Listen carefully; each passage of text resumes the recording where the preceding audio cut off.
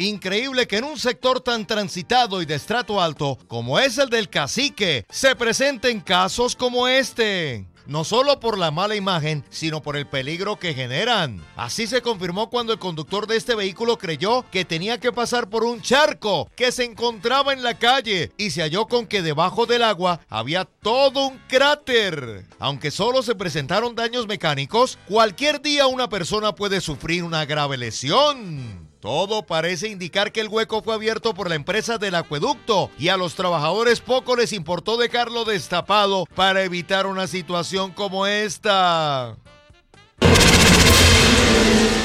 Este habitante de calle resolvió montar su propio hotel en la Alameda Las Nieves, junto a esta quebrada que pasa por toda la mitad de Quirón y a la vista de todo el mundo. Por lo que se observa, el hombre se siente en un 5 estrellas, pues duerme cómodamente en pleno día y es la envidia para los que tienen que madrugar a trabajar. Además, tiene donde lavar y extender su ropa.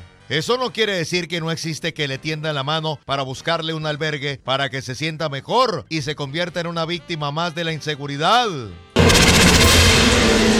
Razón tiene el periodista en uso de buen retiro, Héctor Gómez Cabarij, al referirse a esos mandatarios que responden con agravio las críticas que les formulan los comunicadores u otras personas. Muy concretamente, lo hace al citar al alcalde de su querida Zapatoca, Hernán Agredo Acevedo. El mono Héctor, desde su confinamiento, dice que cada vez que alguien emite comentarios o toma decisiones que no favorecen o no son del agrado del burgomaestre, sale a despotricar contra sus autores.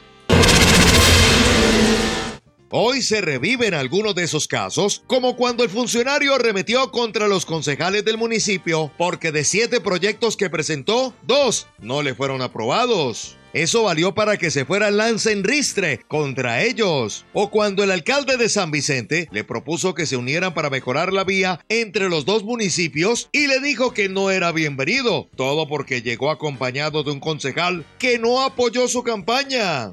O lo que sucede con un arquitecto local que le ha presentado medio centenar de solicitudes de licencias urbanísticas y Agredo solo ha aprobado un paquete de ellas porque el profesional fue rival suyo en las elecciones. Y así, una larga lista de casos que dejan mucho que desear de este controvertido mandatario.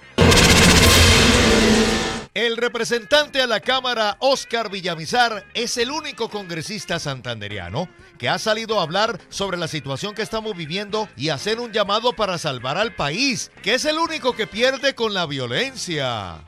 Señores, yo los llamo a la unidad y no a la unidad de discurso, a la unidad de verdad, porque el país no aguanta más hipocresía de parte del Congreso, donde aquí nos señalamos nos gritamos, nos damos duro, pero apagan las cámaras y nos saludamos y nos damos abrazos. Aquí no está ganando, aquí está perdiendo Colombia. Y está perdiendo Colombia porque está perdiendo alimentos. ¿Qué culpa tienen los comerciantes de las decisiones que toma el Congreso de la República?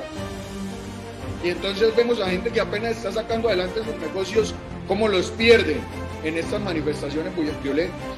Los demás parece que se escondieron porque ni suenan ni truenan. Y eso que estamos a solo 10 meses de las elecciones de Congreso. Para pensar.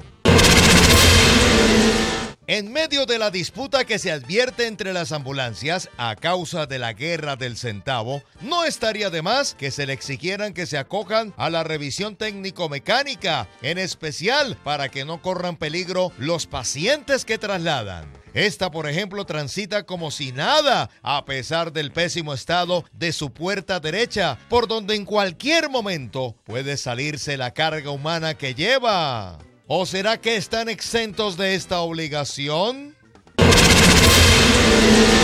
Las avispitas se sienten muy complacidas cuando se atienden sus críticas y comentarios, como sucedió con la electrificadora de Santander, que luego de las denuncias sobre el poste que había quedado en plena mitad de la calle 37 con carrera 14 de Bucaramanga, procedió a solucionar el grave problema y ya no se advierte ese peligro y esa mala imagen que se presentaban en el transitado sector. La empresa envió a sus ingenieros junto con el personal y la maquinaria necesaria para esta falla. Y hoy se ha recuperado la normalidad tras la desaparición del insólito estorbo que allí se erigió, sin que nadie supiera por qué ni para qué.